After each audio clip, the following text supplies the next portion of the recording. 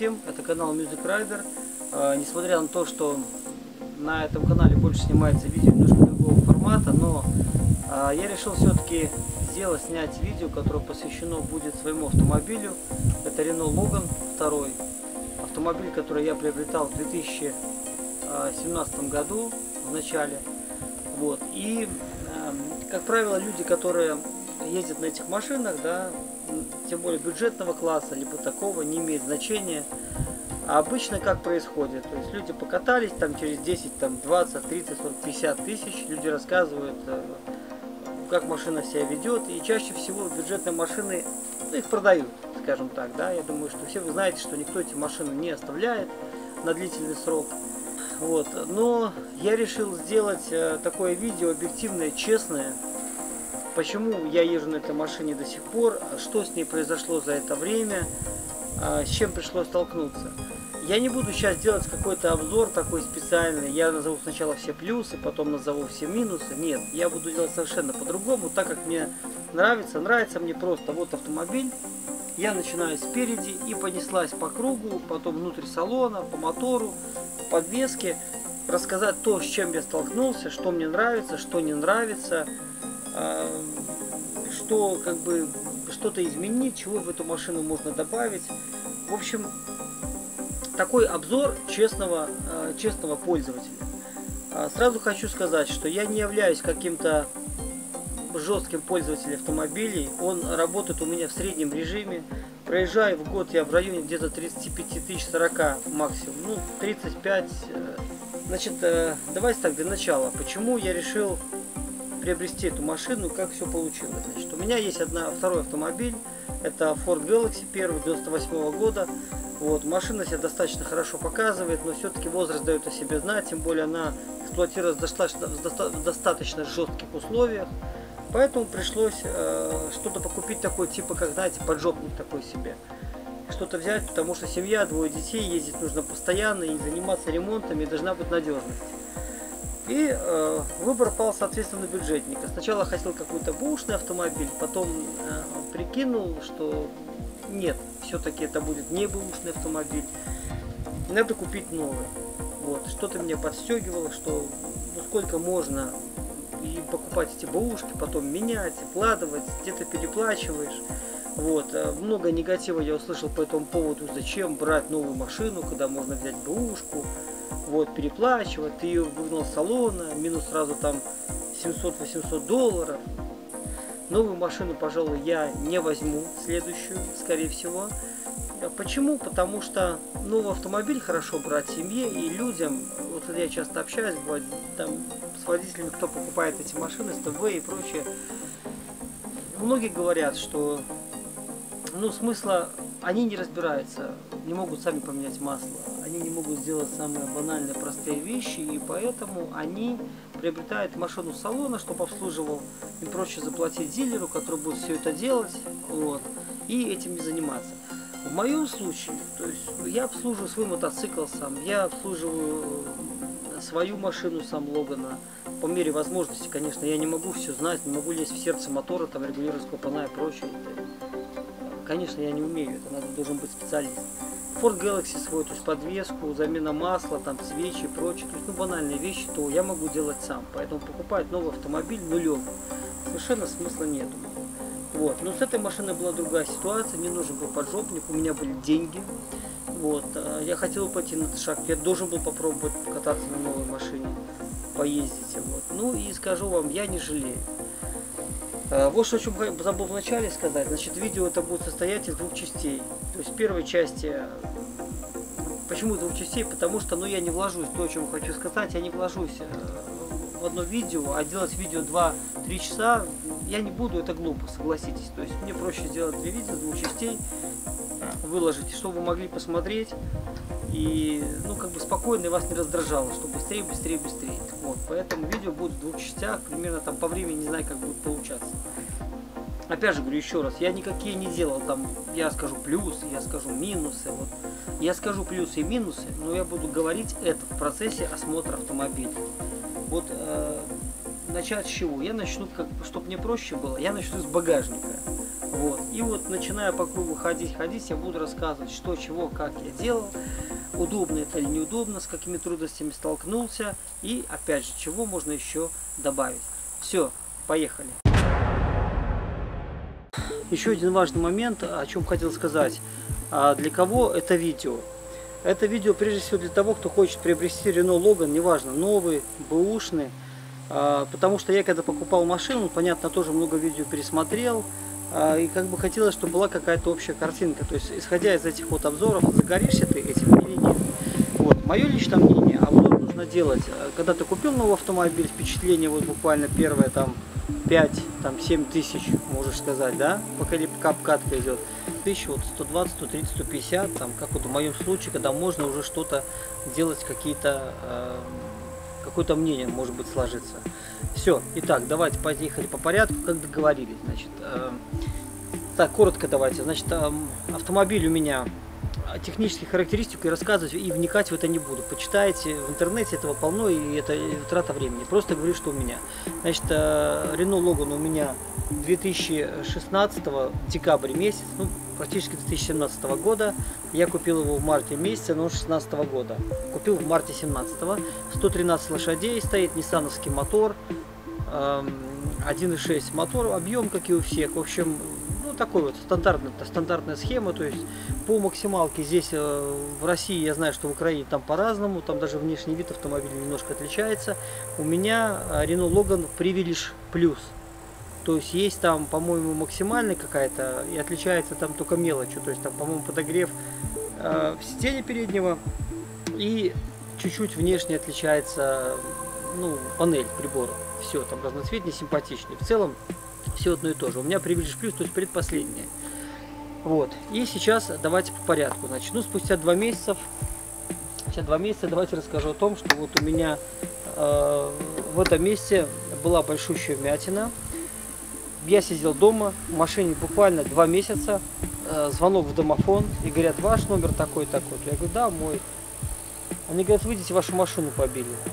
Представляете, я купил э, машину, два месяца прошло, я с нее пыль сдувал, не умолился, а тут побили машину. Я в шоке, меня как бросило в пот. Я спускаюсь вниз, а, стоит ГАИ, вот, стоит машина, и вот в этом месте фара разбита, крыло вмято, а сдавала хлебовозка, и вот именно углом вот этим квадратным прямо сдавила мне сюда и разбила фару, и э, э повредила заднее крыло. Бампер был целый. Значит, Страховка наша работает шикарно. Э, меня выплатили страховку, с меня взяли за износ. Но я не стесняюсь, э, все это дело понятно. Я отправил машину новую, я отправил в Рено Центр, чтобы там делали, потому что, ну, по-другому никак. Сфига ли я буду заниматься, где-то искать запчасти и прочее. Ну, но автомобиль делайте, тем более на гарантии. Вот, я пригнал машину, короче, за ремонт. Э, замена фары, восстановление этого и покраска там еще внутри двери.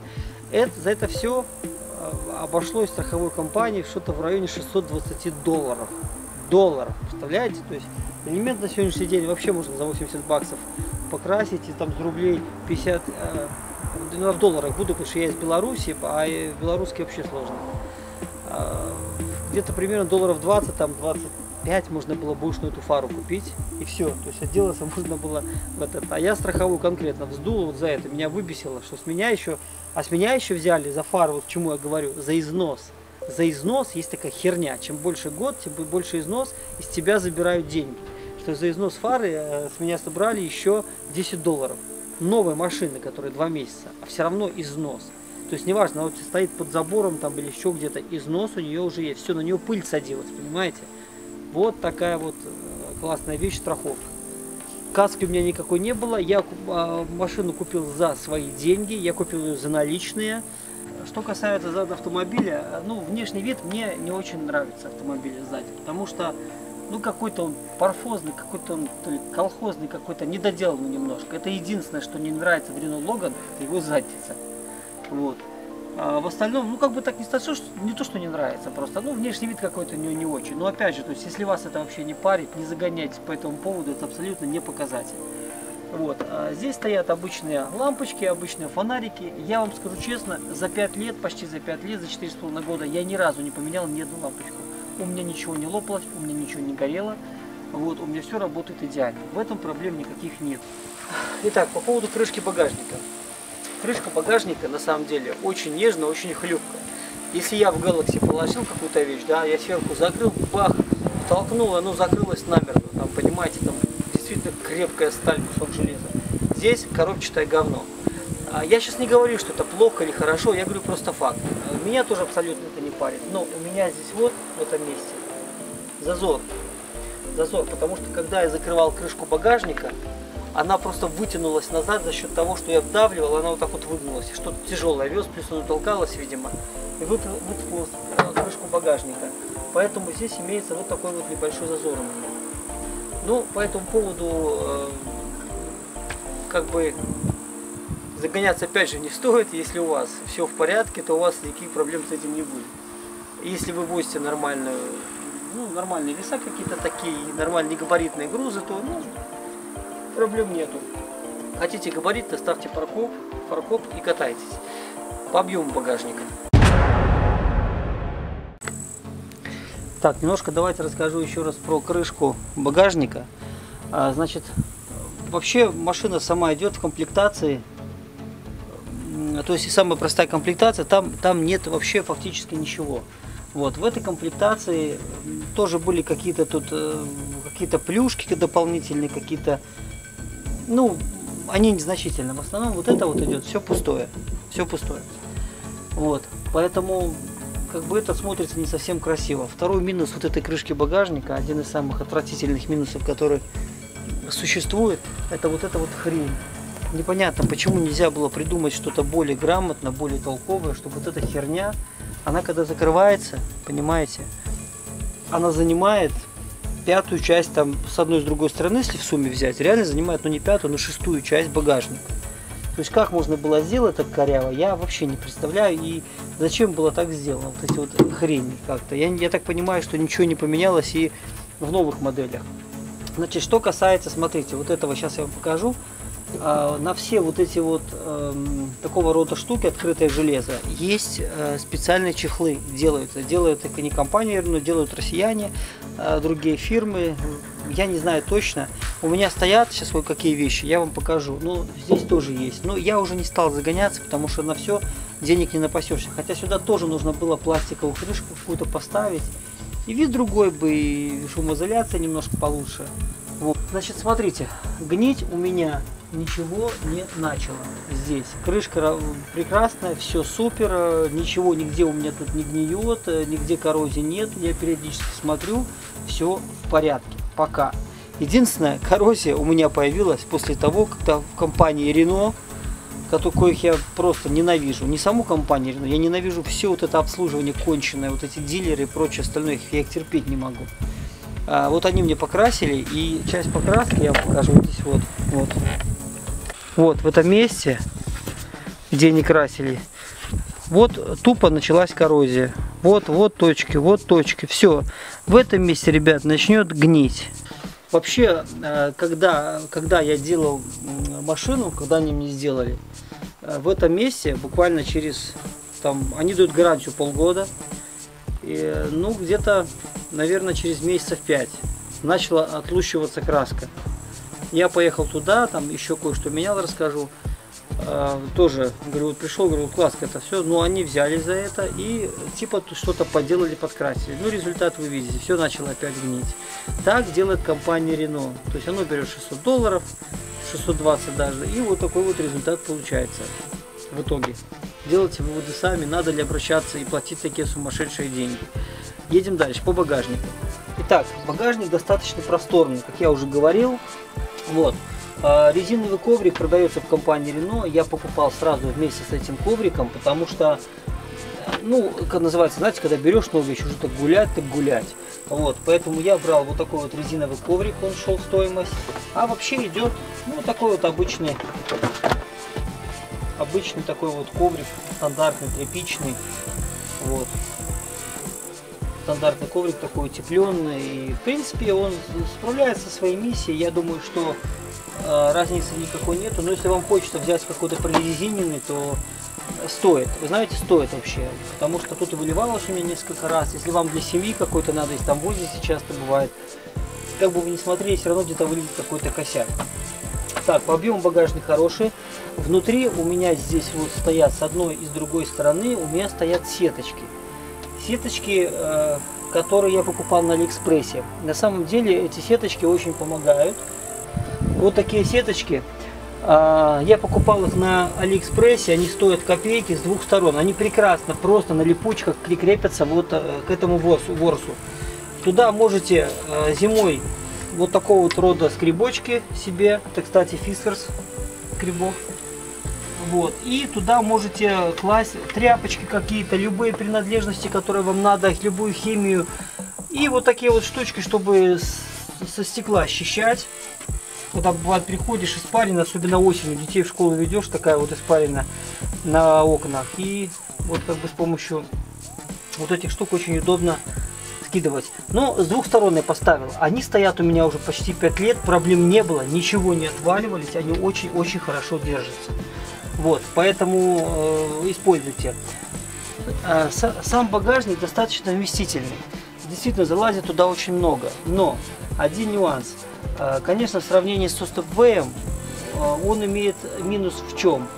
Он, конечно, больше, чем у СТВ, по-моему, больше, но я не уверен точно, по-моему, больше. Ну, визуально, по крайней мере там поднимаешь, кладешь и все. Здесь, э, если у вас проблемы со спиной, положи что-то тяжелое, очень неудобно. Я даже пакеты везу, когда э, с магазина, то я либо запихиваю вот туда эти пакеты, а потом их доставать э, тяжелые пакеты оттуда очень-очень неудобно. То есть как-то, ну, для седана это минус. Хотя внешне мне Логан нравится больше седан. Дело вкуса. В степвее в этом проще. Вот у меня у соседа степвей, он открывает багажник, там все легко достается с ровной спиной. Поэтому если есть нюансы со спиной, учитывайте, пожалуйста, этот момент.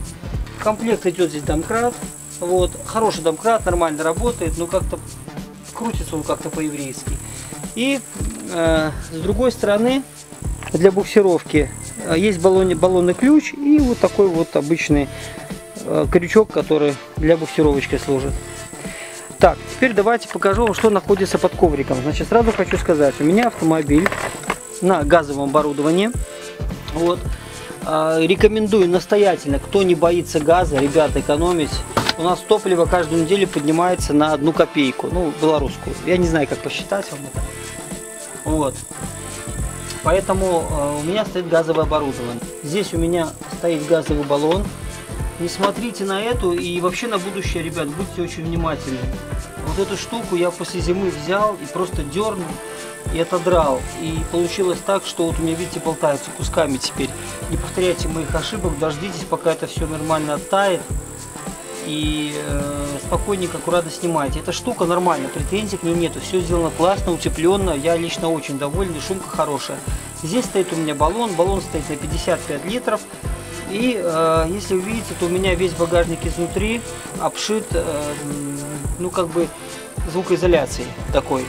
Вот. По поводу звукоизоляции я потом попозже скажу. Изнутри здесь. Вот. А еще один важный момент, о котором я вам хотел сказать, который нужно и ну, на него нужно особенно обратить внимание и постоянно за ним смотреть. Смотрите.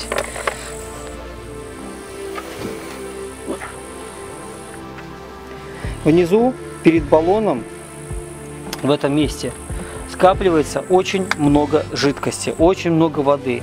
Это надо периодически контролировать и постоянно смотреть, потому что там начнется коррозия. И я уже изнутри смотрел, уже какие-то нюансы начинают появляться. Поэтому э, я вам очень настоятельно рекомендую, ребят, будьте внимательны, здесь всегда просматривайте. Вот. И вообще сюда тоже продается очень классная такая штучка. Вот если у вас здесь запаска должна стоять, вот здесь должна быть запаска. И здесь продается специальный такой вот контейнерчик, в который вы можете вкладывать инструменты, там всякую ерунду. Он есть, тоже продается, его можно найти. И ровненько сюда ложится. Вот я советую вам им пользоваться и под него иногда заглядывать. Вот. Дальше. Э, ну, здесь понятно все, поэтому, я думаю, объяснил, здесь все понятно. Теперь Смотрите, э, вот у меня здесь вот, вот у меня здесь находятся вот такие пластиковые чехлы. Здесь вообще полная голозьба находится изначально у самого производителя. Здесь у меня пластиковые чехлы, здесь у меня тоже пластиковый чехол снизу. Здесь обычный стандартный кусок железа, ничего здесь нету.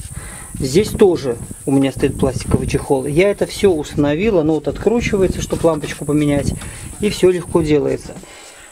А, вы знаете, что неоднократно эта штука меня выручала. Это очень много бывает, часто ставишь чего-нибудь сюда, и вот цепляется так бы за железо, я давно уже отодрал, отодрал бы, давно уже, уже была коррозия какая-то. Вот. Я поставил эти штуки и с ними, с ними очень комфортно и удобно. Еще вот сюда рекомендую настоятельно, панель тоже продается, цепляется. У меня ее нету, но вообще я вам рекомендую сюда панельку тоже ставить. Вот в это место. Ну, что еще сказать? По поводу задних сидений. А, складывается вот там сверху, вот эта штучка железная, она, конечно, мешает, но вот эта вот сама часть складывается, сюда можно положить. Я даже доски иногда возил, и проблем никаких не было. Еще раз вот давайте вам сеточки покажу, которые цепляются. И с этой стороны, видите, у меня с одной стороны есть, а с другой ничего нету. Здесь крепятся по умолчанию сами вот эти все принадлежности, которые идут в комплекте к любому автомобилю. Да, и тут вот резиновый коврик. Ну, коврик, опять же говорю, рекомендую. Здесь водостоки, надо быть очень аккуратным, когда зимой открываешь, и здесь собирается очень много снега. Ну, будь тоже, будьте тоже аккуратным, потому что иногда можно поцарапать машину. Так, дальше поехать. Ну, закрывается очень легко, закрывается очень легко, все нормально. А вот это вот замочек, вот этот вот, его можно настраивать там как вам удобно, ну не только удобно, а исключительно, чтобы вам подходило, чтобы он закрывался нормально и комфортно. Короче, иногда бывает, можно облажаться, вот эта собачка вверх, и вы не закроете замок, поэтому ляпайте так аккуратно, прицеливайтесь. А, ну, пользовался, один раз пользовался штырем и тянул Ford Galaxy, он у меня поломался, я его тянул. Так, ну здесь что, ничего особенного, крепление номера обычное, все обычно. Да, да, еще, ребят, очень советую вам, но почему-то у меня постоянно умирает. Вот, ребят, смотрите, это камера. Камера заднего вида. У реношников официалов она стоит просто бешеных денег. Сейчас я поближе немножко. Она с функцией справляется очень хорошо. Стоимость ее там Э, ну, теоретически смешная, там, по-моему, что-то до 20 долларов она стоит. Она хорошо справляется, но она у меня вторая уже и умирает ровно, отрабатывает полгода, умирает. У кого-то по три года. Кто-то говорит, что работает прекрасно. Не знаю, у меня она умирает, я уже третью купил. Почему так происходит, не знаю. Так, все, давайте будем двигаться дальше. Диски, в принципе, нормальные. По коррозии особо нету. За 4 года, в принципе, диски выглядят нормально. А, и придираться там к тому, что они там заржавели, еще что-то, абсолютно смысла нету. Я ничего с ними не делал, я их не красил, никак не обрабатывал. А нормальные, вполне себе хорошие диски. Я видел человека, когда а, приходил на ТОВ, там ездил, официальному дилеру, он плевался, там, матюкал эту машину, что у него, видите, диски уже там на через полгода или там через год уже покрылись ржавчиной. Ну, правда, они были ржавые какие-то. Где он ездит, я не знаю. Я езжу стандартно везде, э, и меня, в принципе, все диски устраивают. Каких-то там нареканий, ну да, там где-то коррозия. Ну, блин, извините, они еще вот ездят 4 года, и без задней мысли вы их выкинете, и совесть будет чиста. Колпаки, колпаки, конечно, очень мощные, оригинальные. Хорошие колпаки, что бы там ни говорили, с, с если сравнивать такого же уровня колпаки, то поверьте мне, это ну колпаки какие-то, которые будут стоить немалых денег. Я думаю, минимум будут стоить сотку комплект э, долларов, потому что ну колпаки хорошие, хорошие действительно. Держится крепко, одевается, правда, также крепко. Ну, дело привычки просто по поводу резины. Значит, резину я не менял. На этой резине я отъездил э, 4,5 года. Вот, состояние протектора сейчас вам покажу. Конечно, я спереди перекидывал назад.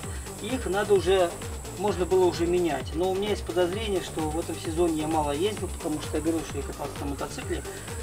Я думаю, что в следующий сезон я еще тоже согрешу с ними. Но вообще с ними уже есть проблемы. То есть реально 4 сезона, 5, э, такой везде, нормальный, с дорогами более-менее городскими, кольцо город. Я думаю, что ну, с ними можно покататься еще. 4 сезона стабильно можно нормально отъездить. Все, потом, наверное, можно менять. Резина здесь э, по умолчанию 185 на 65 R15. Вот. Просто нормальная резина, ровная, спокойная летняя резина. Все, претензий нет. Здесь сзади стояли дополнительно у меня брызговики такие а, и защита. А, то есть я когда покупал машину, я доплачивал и мне устанавливали, по-моему, я не буду утверждать точно, и спереди, и сзади ставили защиту. И я не жалею о том, что я ее поставил. Надо было куда-то хоть разобрать, может почистить там что-нибудь, но я уже этим не занимался. Все, поэтому защита там и там есть, и это здорово. Итак, а, по поводу заправки и э, лючка всего остального. Вот поближе можете посмотреть, нигде никаких коррозий, ничего нету. Но я езжу на газу. Я туда-сюда не, не юзаю и специально установил газовое оборудование под э, задний бампер. И советую всем это делать. Э, многие, когда устанавливают газ, они выводят сюда э, вот этот заправочный шланг сам. Ну, это заправочный, как он называется, блядь. Ну, вы поняли. Вот, э, я сюда не ставил, он у меня стоит сзади под задним бампером. Почему? Потому что газовщики стали советовать и рекомендовать не ставить, потому что здесь э, очень быстро все начинает сгнивать. Особенно у таксисты, которые часто ездят, заправляются, в общем, все гниет. Как видите, здесь э, никаких проблем нет, абсолютно нормально, э, нигде не коррозии, ничего, все в порядке. Сюда 95-98 бензин, так написано э, на лючке но я вам хочу сказать, я заправляю 92-м бензином, ездит он точно так же, как 95 Можно вообще не загоняться и спокойно кататься. Я никаких минусов не увидел. Все, поэтому смело заливайте и катайтесь. Давайте сразу по поводу расхода, э, что вам сказать. Ну, расход э, где-то получается у меня в среднем 6-6,5 литров по трассе. Нормально, это средний катаешься. По городу где-то литров 8 она жрет 8, 8,5 92 бензина. В зависимости, как вы и в каком стиле еще. Ну, у меня выходило где-то примерно так. Сейчас езжу на газу, все поменялось, только плюс 1 литр. И то на газу я один раз э, умудрился прокатиться 6,5 литров. У меня получилось по трассе. Ну, я так ехал, как бомж. Вот, поэтому э, на газу ехать выгоднее, это однозначно потому что топливо, бензин, это, конечно, космос сейчас стоит. Стоит ли с этим связано? Все, поэтому все, 92 бензин смело можно заливать, смело можно кататься. Я не знаю, может в новых машинах что-то изменилось, но я думаю, вряд ли. Вообще ставьте на газ. Есть люди, которые категорически ненавидят газ. Э, большие глупости, потому что у меня две машины на газу, я на газу уже езжу около 13 лет на одной машине и вот на это 4 года езжу. Сейчас с газом это не то, что раньше было. Сейчас газ поставить вообще не проблема. 400 долларов у тебя стоит газ, причем тебе дают в рассрочку. Никаких трудностей нет. Поэтому я рекомендую ставить газовое оборудование, вообще не загоняться. Откатайтесь и продадите машину. А, по поводу салона, давайте я, наверное, немножечко попозже буду, уже когда в салон залезу, я там по салону точно так подробно тоже пройдусь. Сейчас давайте пройдемся немножко по, по дверям, не знаю, там, по комплектации двери. Вот. Для начала ручки. Ручки. Ручки, в принципе, достаточно удобные, легко открываются. Э, главное зимой не вырывать, не рвать их. Чаще всего э, зимой проблемы не самой ручкой открыть-закрыть, а чаще всего она может поломаться, я думаю, только в том случае, если вы откроете и дернете сильно дверь, потому что она вот здесь примерзает, поэтому силиконом желательно зимой, конечно, промазывать. Вообще все открывается легко. Очень быстро, в течение, в течение двух лет, в течение двух лет очень сильно заржавели вот эти вот петли. Значит, я пытался обратиться к севере, там они буквально там, наверное, через, не знаю, там через, ну сколько, Через год они стали ржаветь, двери стали туго открываться. Я стал, а, поехал в сервисный центр, говорю, вот как бы надо поменять. На что они говорят, что петли не являются гарантийным случаем. То есть это элемент не кузова. Это просто элемент как отдельный какой-то, как расходник. Поэтому я просто смазал, тут можно ВДшка, я, честно говоря, обычным силиконом попшикал, и вот они стали лучше открываться. Ну да периодически за этим просто смотреть. Все, и никаких проблем нету. Вот.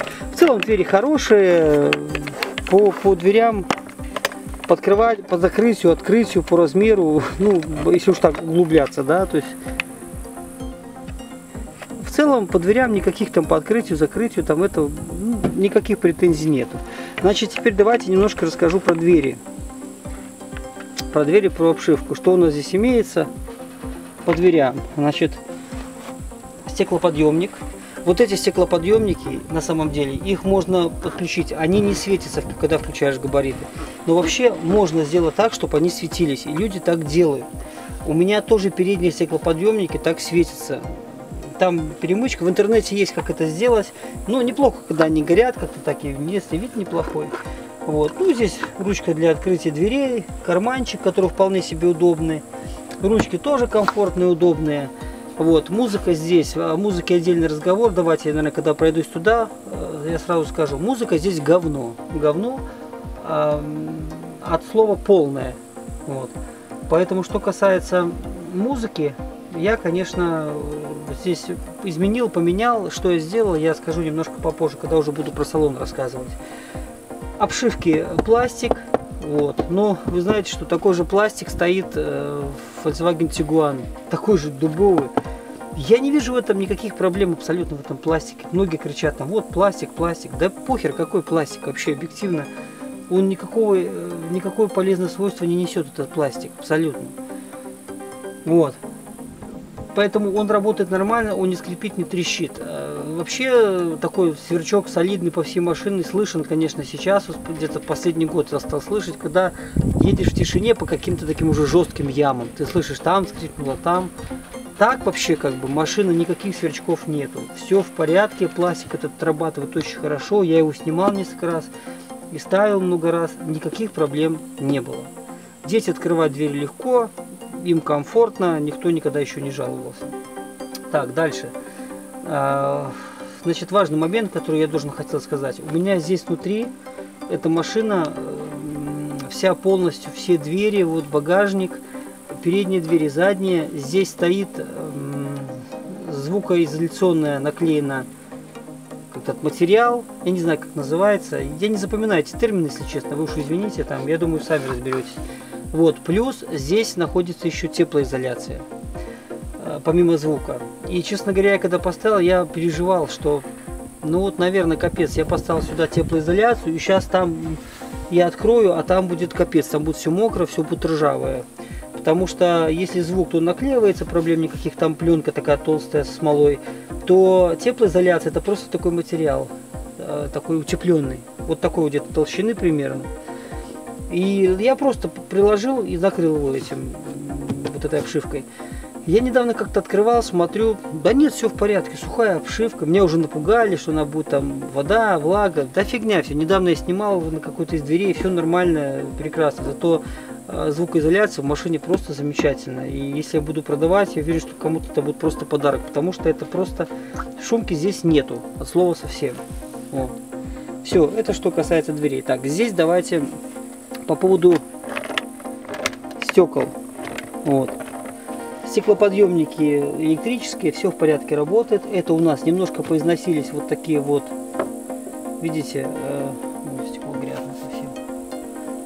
Вот такие вот шторки, вот выцвели с одной стороны, но они на самом деле очень сильно выручают. То есть э, у меня ребенок, э, дети, и когда вот дети спят, и когда солнце светит, как-то их так одеваешь, и становится комфортнее. Но я должен сказать вот о чем. А, что вот эти вот шторки на зиму лучше снимать. Потому что э, светает рано, а темнее и темнеет рано. И чаще всего, э, как бы забираешь детей, бывает, со школы или куда-то выезжаешь утром, еще темно, и они мешают.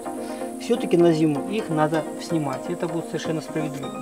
Они держатся нормально, они поизносились, конечно, уже деформировались немножко, но в целом они стоят хорошо. То есть без задней мысли спокойно ими можете пользоваться и проблем никаких не будет. Все. Так, еще какой момент по поводу уплотнителей. Вот эти все резиновые уплотнители лучше, конечно, промазывать на, на зиму силиконом. Итак, передняя дверь. Э, ничего замысловатого нету. Все то же самое, что и в задней двери. Вот стеклоподъемник, э, ручка, динамик передний, карман. Карман широкий, много туда очень влазит, э, поэтому с удовольствием им пользуюсь.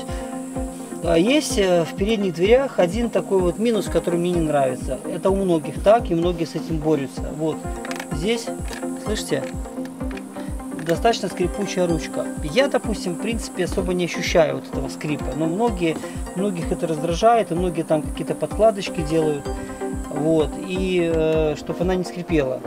Вот. То есть, ну, такой вот нюанс есть на самом деле, и, ну, как бы, я говорю, меня это не парит, но люди избавляются, то есть они скрипят, они реально поскрипывают. Короче, мне лично пофиг. Вот. Стеклоподъемник хватает, хватает, э, работают хорошо, проблем с стеклоподъемниками не было, все четко. Опять же говорю, можно сделать, они загорятся. Внутри стоит шумка, внутри стоит теплоизоляция. В связи с этим дверь сама по себе, она очень э, тяжело такая, ну не очень, но тяжеловатая. Закрывается легко, закрывается с хорошим звуком, не как банка консервная. Не знаю, будет слышно или нет, сейчас попробую.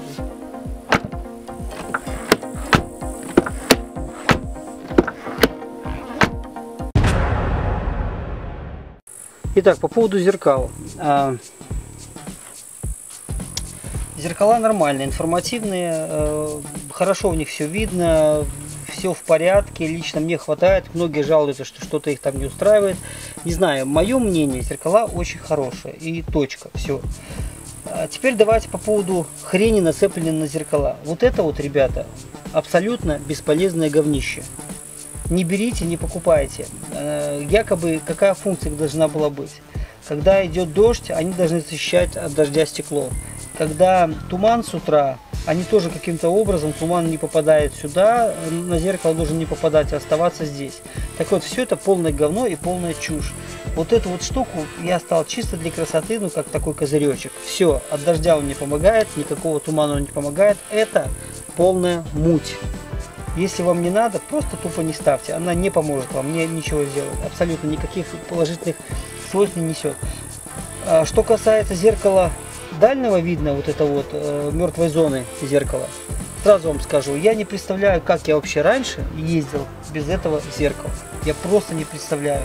Это такая помощь. Я настоятельно рекомендую всем поставить, потому что ну, я мотоцикл тоже поставил, но как-то у меня зеркала маленькие, мне немножко неудобно. А, ну, как бы там надо скорость реакции, когда в мотоцикле, а в машине как бы наоборот. То есть ты посмотрел, голову повернул спокойно, и ты видишь. И я уже привык, у нас выезд такой, где я выезжаю, у нас 8 полос. И получается все, чтобы выехать тебе на разворот, чаще всего, а мне нужно на разворот чаще всего, я э, должен выехать, проехать 4 полосы сумасшедшего движения. Вот.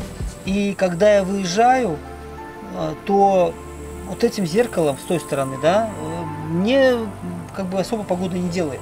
Вот это зеркало открывает полностью все четыре полосы, и я вижу точно, ехать мне или нет. В общем, ребят, зеркало мертвой зоны, мне кажется, нужно каждому, абсолютно. Потому что, ну, я не представляю, как без него можно, без него можно кататься. В остальном зеркало вполне себе нормальное. С этой стороны стоят повторители с обычными лампочками, работают. Ну, ничего особо об этом не скажешь. Ну, работает работает. Ну, дополнительно почему нет. Но, в принципе, дизайн зеркала, на мой взгляд, очень даже неплохой. Двигается тоже, вращается по-разному. Видите, он, в принципе, никаких проблем у меня не было. Я так понимаю, что они складываются, наверное, как-то. Но никогда не практиковал, никогда мне это не нужно было.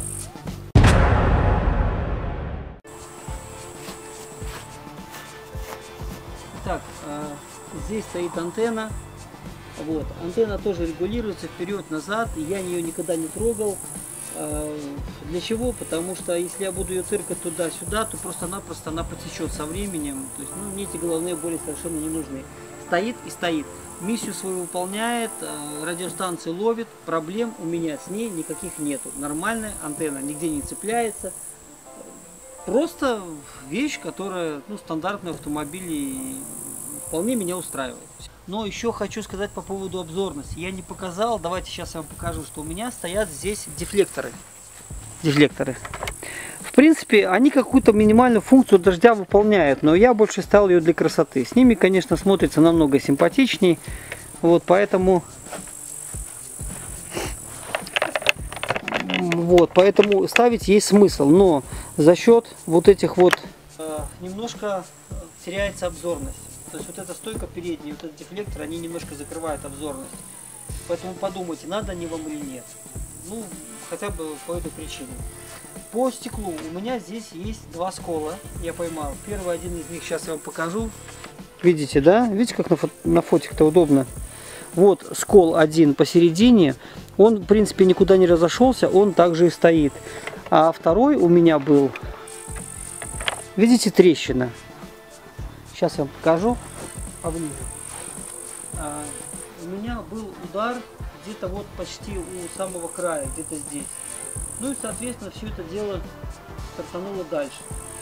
Это было два года назад. Два года назад мне просверлили здесь, засверлили дырочку, ребята заделали. Буквально стоимость составила, ну вам не соврать, наверное, доллара три. Вот они здесь заделали. И сказали 50 на 50. Может пойдет, может не пойдет. Не пошло. Пока. Два года вот я катаюсь, пока не пошло. Стекло менять не буду я, потому что мне совершенно это не надо. Все, в целом хорошо. Здесь у меня вот небольшой скол, видите. Э, сюда вообще я все собирался, все никак не поставил. Сюда ставит такая резиночка, вставляется вот сюда и идет по всему верхнему лобовому стеклу она немножко защищает. Резиночка это от каких-то там ударов, от прочего. Ну, я себе не поставил. Но, тем не менее, смотрите, вот удар есть, скол, и как таковой коррозии нету здесь. Это как бы, ну, наверное, должно порадовать чуть-чуть. Вот. Поэтому сюда тоже лучше поставить какую-то защитную. Итак, теперь я хотел бы поговорить по поводу дворников. По поводу дворников. Смотрите, дворники э, я приобрел вместе, ну понятно, вместе с машиной, да, фирмы там Мотрио, по-моему, они делают.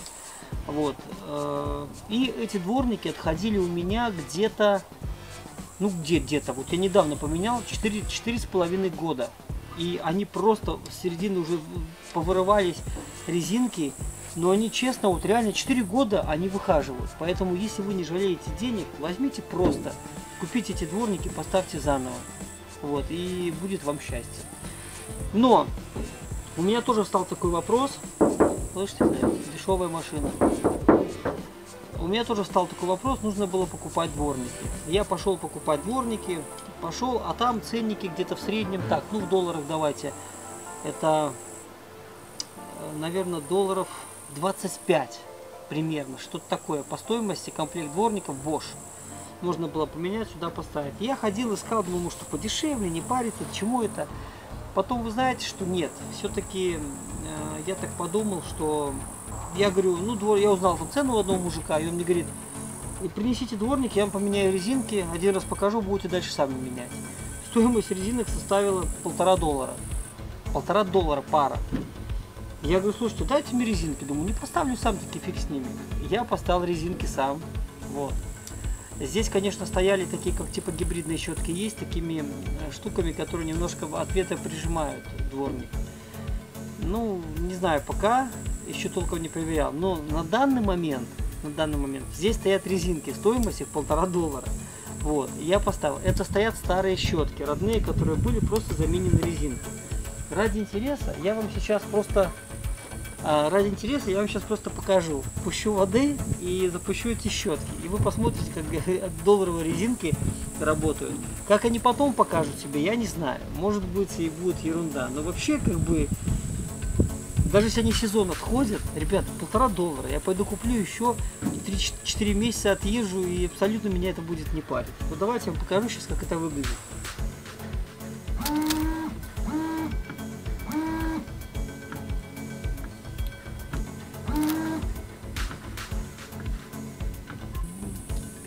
Думайте сами, то есть вам нужно заплатить 25 баксов, да, или вам достаточно доллара, полтора, чтобы поменять просто самому резинки и не заниматься фигней.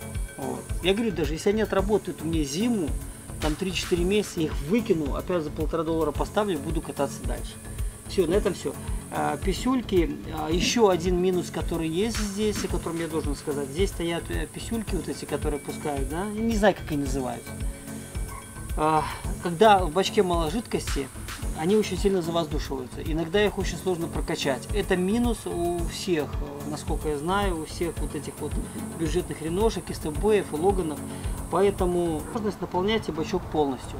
Вот.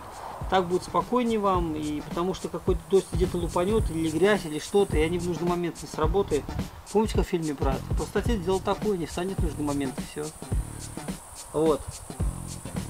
А, самими дворниками, с моторчиками и прочее дел проблем никаких не было. Все работало отменно, все работает четко. Крепление здесь идет байонет, арм, байонет арм, по-моему, называется правильно, обычный штырь. Они все, по-моему, идут уже такие с такого года. Вот, поэтому, ну, решайте сами, какие дворники вам нужны. Так, давайте дальше. Ну, давайте сейчас по морде автомобиля поговорим немножко. А, фары света не хватает. Кто-то меняет дополнительно, кому-то там что-то не хватает, они просто не ездили на моем голосе. Хватает света и дальний, и ближний, меня все устраивает вообще без претензий. Свет для меня даже не то, что средний, он очень хороший. Вот, мне нравится. Поворотники нормальные, а лампочки, по поводу лампочек сразу хочу сказать.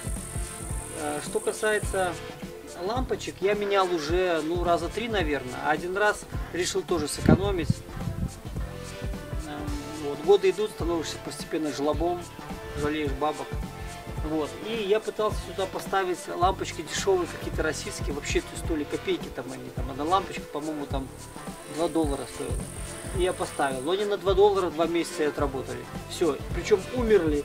Я сначала эту поставил, потом поменял одну, потом доехал до дома, поставил вторую. Разница в 20 минут. Они умерли так. Эта умерла, через 20 минут умерла вторая. Вот, я жалел уже на Philips, купил нормальные лампочки. Все, отражатели работают хорошо, лампочки светят хорошо, поворотники видны, лампочки на поворотники, на эти, все нормальная, стандартная, дешевая хрень. Все меня устраивает. А, спереди на радиаторе у меня стоит решетка, я ее покупал сразу же, устанавливал с завода, я платил деньги, чтобы они мне поставили эту решетку на радиатор сразу. Вот. Решетка радиатора нужна, и об этом писали не то, не то что реношники, все пользователи говорят, поэтому я рекомендую ставить ее сразу. Но можно самому купить, поставить, это не проблема. А, что касается противотуманок, двоякое мнение. Кто-то говорит, что противотуманки ерундовые, кто-то говорит, что ничего. По мне, они так. В тумане они свою функцию выполняют, в принципе, они немножко дают света. Нельзя сказать, что они плохие, нельзя. Свою функцию в целом они выполняют неплохо.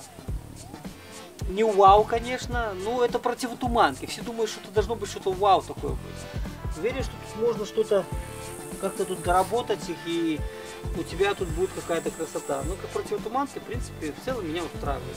Вот. Это что по передку. Что еще сказать, не знаю. Ну, внешний вид, в принципе, неплохой, стандартный, классический. Никаких тут э, нету таких нюансов, там, которые бы, не знаю, там, отличались. Стандартный бюджетный автомобиль с внешним видом. Что касается капота, вот, под капот тоже я клал бы какую-нибудь там шумоизоляцию, но у меня пока ничего нету. Вот, а с капотом, с капотом есть нюансы. А, не с внешностью, а с внутри капота. Еще о чем я хочу вас предостеречь. А, ребят, ни в коем случае не ставьте вот сюда вот эту вот защиту от камней или прочее. Это все полное говно. Вы ушатаете, упоганите капот. У меня просто стоит новый капот. Потому что я по гарантии капот заменил. А у меня начали э, вентиляционные отверстия гнить. Я сейчас вам покажу. Вот. Начали гнить эти отверстия. И э, я по гарантии успел еще поменять капот. Меняет капот в Логане. Блин, ну, наверное, процентов 70 или 80 людей меняют э, капот. Они гниют реально гниют, к этому надо готовиться. Лучше изнутри отработать сразу. Гниют именно изнутри, а не снаружи. Вот, поэтому не ставьте. Вот у меня я поменял капот, я съездил уже полтора года, у меня нет ни одного сколышка, ничего нету.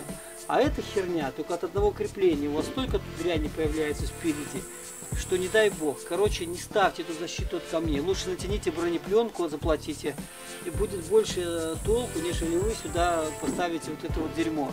Не ставьте, категорически вас устрясно, заверяю вас. Вот. Юбка, юбка э, такая, ну, нормально. Я бортик стандартный, стандартный бордюр, вы заедете нормально, ничего не повредив. Хотя несколько раз, ну, у меня бывало, что я там цеплял, задевал и чуть-чуть царапалось у меня. Вот. Все. Ну вот в целом по передку все. Капот я менял. Давайте сейчас вам покажу, где какие проблемы у него. Ну вот, ребят, вот эта цитадель зла. С одной стороны, тут рядышком, с другой стороны, но ничего не меняется. Вот. Эти вещи гниют. Вам упорно рассказывают, что они их обрабатывают, что они что-то с ними делают. Все равно никто ничего не обрабатывает, ребята. Это вентиляционные отверстия эти, они гниют. Начинает один, потом второй, третий, пошло дальше. По этой причине меняется капот. Это происходит практически у всех Рено Логан. Почему-то говорят, что больше всего это у Логанов. Почему-то. У Логанов, я не знаю, с чем это связано. Но, короче, здесь проблема. Это гниет у всех.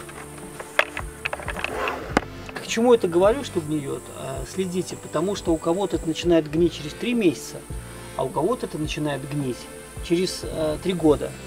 Поэтому, чтобы вы постоянно это место контролировали. Не надо ничем его обрабатывать, не надо ничего делать, потому что вы обработаете, через три года у вас он сдохнет. Поменяйте капот и обработайте. Мне сказали, что обработали. Тут действительно было что-то намазано, но, как видите, результата никакого. Причем гнить стало оно именно летом. Вот и все. Вот эта штука э, ничего она не дает. Хрень полная, если честно да, большой, ну раз уже открыл капот, э, большой плюс, о котором, ну, надо просто сказать, обязательно нужно сказать. Ребята, это амортизатор, который стоит в капоте. Это просто классная вещь.